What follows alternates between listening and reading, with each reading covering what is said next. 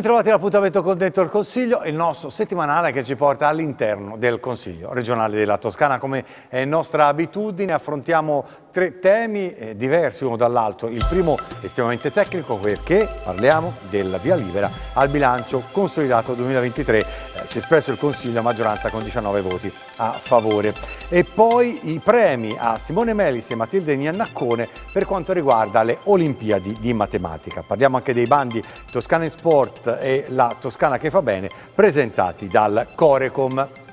Il primo tema quindi riguarda proprio la recente seduta d'aula del Palazzo del Pegaso che ha approvato a maggioranza il bilancio consolidato della Regione per l'anno 2023. Eh, si registrano 19 voti a favore, eh, e 11 contrari. In sintesi, questo bilancio mette in evidenza i risultati complessivi del gruppo amministrazione pubblica, ovvero regione più enti e le società considerate rilevanti che sono così suddivisi. Accanto al Consiglio regionale Toscana, eh, quale organismo strumentale, ci sono 25 enti eh, strumentali controllati e le loro società partecipate indirette, 9 enti strumentali partecipati, 9 società controllate e loro partecipate indirette e poi 4 società partecipate. Questi dati cosa ci dicono? Ci dicono che intanto c'è un valore della produzione, come si dice in termini economici, cioè delle attività che sfiora i 12 miliardi. Di questi oltre l'80% fanno capo all'ente all regione. Il risultato economico questa, della gestione 2023 ci eh, consegna ecco, un dato positivo per eh, circa 90 milioni di euro eh, che sono in netto miglioramento rispetto al consolidato del 2022, c'è un aumento di 60 milioni di euro che vanno a beneficio appunto della situazione patrimoniale. I conti avrebbero potuto essere ancora più eh, migliori eh, qualora avessimo potuto beneficiare di risorse come il payback in materia sanitaria, 392 milioni, rispetto al quale la Corte Costituzionale ha dato ragione alla, alla Regione Toscana appunto nel diritto di esigere queste risorse, oltre a circa 120-130 milioni di minori trasferimenti dal Fondo Sanitario regionale. Ecco, ciò nonostante la situazione complessiva ecco, del, dell'ente, del, degli enti che compongono eh, il perimetro del bilancio consolidato è una, è una, situazione positiva. Un bilancio che chiude in equilibrio è importante tenere in sicurezza i conti della Regione Toscana, denota solidità della Regione ma anche del gruppo della Regione, tutte le aziende che fanno e afferiscono alla Regione Toscana. È evidente che questo dimostra la nostra tesi, come nel 2023 siamo stati in equilibrio, noi siamo convinti che questo equilibrio lo si possa raggiungere anche nel 2024, questo spiega la battaglia che Italia Viva ha fatto contro l'aumento delle tasse e la battaglia che faremo nei prossimi tre mesi per rivedere quella misura, per cercare di tenere in equilibrio i conti anche nel 2024, in equilibrio di bilancio, senza chiedere nessun sacrificio ai cittadini toscani,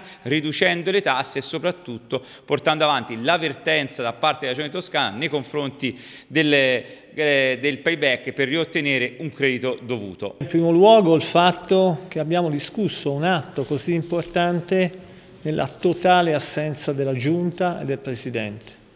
Quindi quelli che sono i conti eh, della Regione, quindi un momento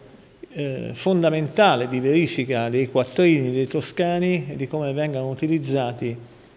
totale assenza di giunta e di presidente della regione. Così come l'avevamo già messo in evidenza anche durante la commissione controllo, l'atto dei revisori dei conti, il parere, arriva costantemente in grande ritardo ed è un atto spesso di natura poco più che formale e anche questo non è utile all'approfondimento perché avremmo invece avuto la possibilità con una tempistica diversa di eh, chiamare e ascoltare i revisori, approfondire meglio determinati aspetti e portarli in aula per favorire un confronto più ampio. Detto questo, noi abbiamo rilevato anche come nell'arco del bilancio consolidato molti dei numeri che riguardano le società partecipate sono e arrivano in grande ritardo, si riferiscono addirittura agli anni 2022, c'è addirittura uno di questi enti che è in liquidazione che ha eh, i numeri fermi al 2015, vi immaginate voi che tipo di ragionamento si possa fare dal punto di vista della precisione dei numeri. Nel nostro ruolo di, di opposizione non possiamo che eh, mettere in evidenza le parti eh, meno, meno, chiare e comunque eh, ci sono alcuni, alcuni punti oscuri che andranno approfonditi. Eh, le terme di Montecatini che hanno un, eh, un eh, disavanzo perenne e profondo, eh, certe situazioni di alcune partecipate che sono quasi eh, inutili che la Regione mantenga e infine tutto questo è depurato, ma per legge naturalmente, di tutto il problema sanitario che rimane un grosso buco nero eh, da, da, da, chiarire da cercare di portare eh, a compimento nel miglior modo possibile. Per quanto riguarda i dati negativi, colpisce il dato negativo di sviluppo toscana che fa un utile negativo, scusate, una perdita di circa 280 mila euro e naturalmente nel complesso si tratta di un'organizzazione enorme che dà eh, servizi che per noi giudichiamo assolutamente insufficienti. Festeggiamo anche le eccellenze della Toscana, sono ragazzi dei sei che hanno partecipato in rappresentanza dell'Italia alle Olimpiadi di Matematica 2024 questa estate in Inghilterra, due erano toscani. Simone Melis e Matilde Iannaccone hanno portato a casa una medaglia d'argento e una di bronzo. Il Consiglio regionale della Toscana quindi ha voluto premiare i due ragazzi per i risultati ottenuti e per incoraggiarli poi a coltivare questi loro talenti. Intanto voglio fare i complimenti più vivi, più sinceri a nome mio di tutta l'Assemblea legislativa eh, a Simone e Matilde perché hanno portato in alto con i loro risultati il nome della Toscana eh, in eh, Italia e non eh, solo. Eh, io devo dire che ho un, oh, un pizzico di invidia, avrei voluto provare a farlo anch'io ma non ci sono riuscito e quindi eh, vedo in questo loro impegno, in queste loro capacità, in questi loro talenti eh, che vanno sempre allenati giorno dopo giorno, eh, qualcosa di unico, di bello e di speciale. A loro eh, un messaggio, state sempre sui temi di frontiera, non date mai per scontato che quello che c'è ci sarà anche in futuro. Cercate sempre di scoprire qualcosa di, di nuovo, di bello e attraverso i vostri occhi possiamo leggere un futuro migliore. Simone Melis e Matilde Iannacone rappresentano l'orgoglio della nostra regione in un contesto molto importante, quello delle Olimpiadi di Matematica, che è un percorso che vede impegnati nelle preselezioni soltanto in Italia oltre 200.000 ragazzi, quindi hanno passato le selezioni in Italia in oltre 1500 istituti, i nostri due istituti, quello pisano, l'istituto Dini e quello Foresi di Portoferraio, hanno mandato due ragazzi, due eccellenze della nostra regione che noi oggi siamo qui ad onorare e siamo orgogliosi del loro percorso, del loro talento e crediamo che questo sia il messaggio anche per tanti ragazzi che eh, studiano, che fanno percorsi eh, di studio, di approfondimento e che possa essere da stimolo anche per tanti altri giovani. Siamo stati una settimana a metà luglio eh, a Bath in Inghilterra e eravamo sei noi italiani e, mm, e, due, e tre accompagnatori l'esperienza mi è piaciuta molto, poi fortunatamente conoscevo anche gli altri ragazzi che sono venuti con me e mm, poi la gara in sé mi è piaciuta, in generale mm, i problemi erano carini, mi è piaciuta e poi ho conosciuto tante persone eh, da altre parti del mondo e sì, è stata una bella esperienza. La mia avventura con la matematica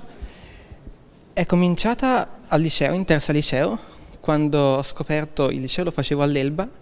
e ho scoperto cercando su internet appunto che esistevano le Olimpiadi della matematica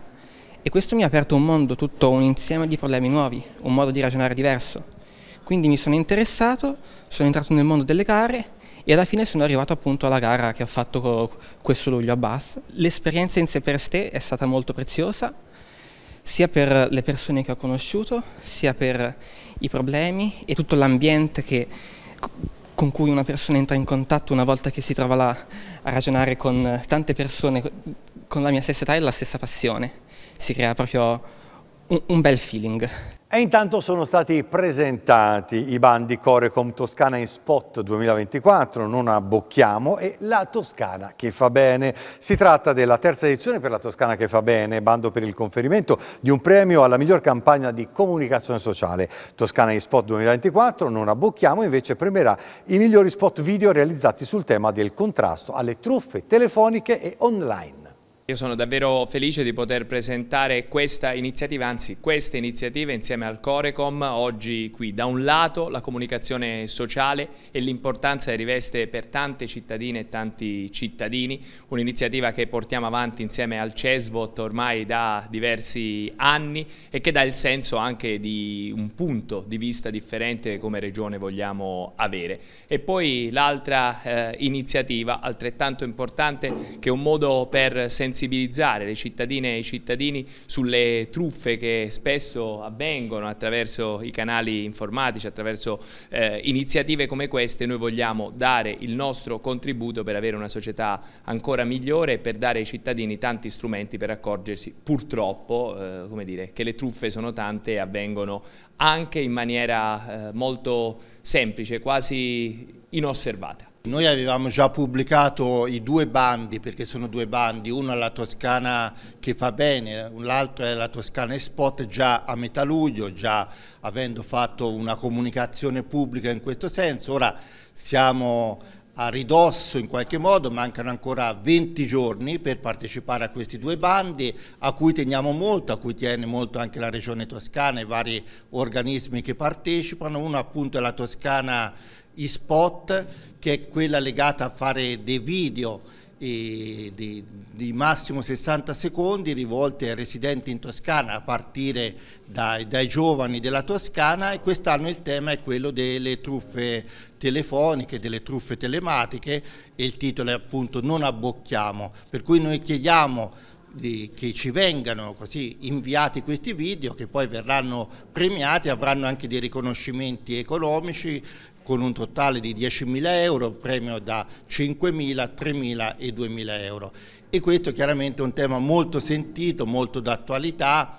e servirà per sensibilizzare la popolazione a partire dalla popolazione più fragile e vulnerabile. L'altro bando importante che facciamo in collaborazione col CESVOT e con la Regione Toscana invece è quella, la Toscana che fa bene e si rivolge a tutto quello straordinario patrimonio di, di mondo che è il volontariato, l'associazionismo, il no, il no profit e non solo e si rivolge a premiare le migliori campagne di, di, valore sociale, di interesse pubblico, per cui è in qualche modo un riconoscimento e una valorizzazione di tutto quel lavoro importante che viene fatto. E qui possono partecipare sia gli enti no profit sia le istituzioni e i privati cittadini. Il CESVOT da sempre attento alla comunicazione sociale, abbiamo un archivio di più di 3.000 documenti da 68 paesi del mondo, quindi è un archivio importante e quindi siamo molto contenti di partecipare insieme a Coreom a questo, a questo concorso che ormai è la terza edizione, le altre edizioni sono stati premiati delle cortometraggi molto belli, il primo mi ricordo dell'Unione Cechi di Prato, l'anno scorso dell'Avis, quindi speriamo che il terzo settore anche quest'anno possa partecipare a questa campagna perché penso davvero che ce ne sia bisogno perché la comunicazione sociale non è un marketing commerciale ma si rivolge proprio ai cittadini per invitarli a degli stili di vita diversi e quindi per cambiare in qualche modo la nostra società. E si conclude anche il nostro appuntamento con Dentro il Consiglio, vi ricordo per tutte le informazioni e gli aggiornamenti il sito www.inconsiglio.it. Vi aspetto come sempre qua tra sette giorni, Dentro il Consiglio.